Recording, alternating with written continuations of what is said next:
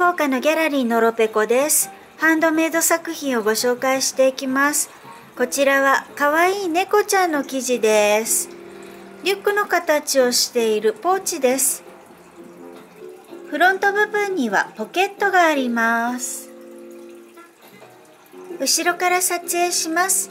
小さいですがちゃんとリュックの形になってるんです。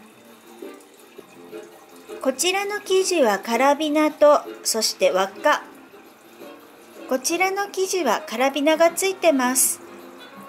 大きくガバッと開きます。